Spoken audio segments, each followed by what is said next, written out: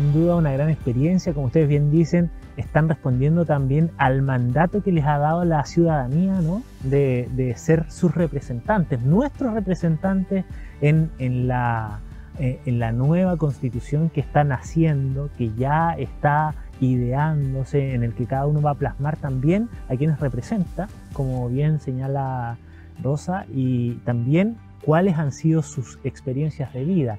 En ese sentido, ¿podemos aspirar a un estado de bienestar desde su punto de vista? Siempre vamos a poder aspirar, siempre lo vamos a poder hacer.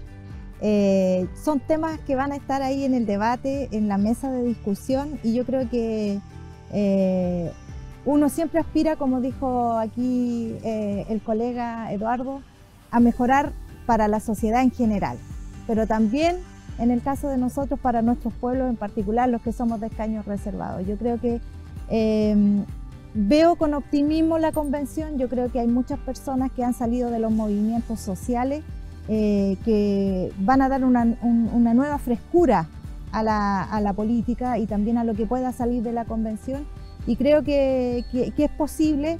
Eh, vamos con un ánimo de diálogo también. Eh, somos un pueblo que nos caracterizamos por el diálogo eh, y lo vamos a mantener en ese sentido en la convención. Así es que yo creo que podemos ir caminando para allá. hay varios movimientos, varios convencionales que están apuntando su foco para, para que así sea y una de ellas también voy a ser, ser yo. ¿Cómo lo ve usted, Bar? Mira, eh, sí, yo creo que, eh, como decía Rosa, el, espíritu de diálogo está y, es fundamental abrirnos al diálogo si queremos tener realmente una sociedad mejor. Y nosotros eh, postulamos en la lista, por ejemplo, y yo creo que ya está como socializado por todo, no es una novedad por lo demás de, la lista, todo el mundo habla del estado de bienestar, como lo señalado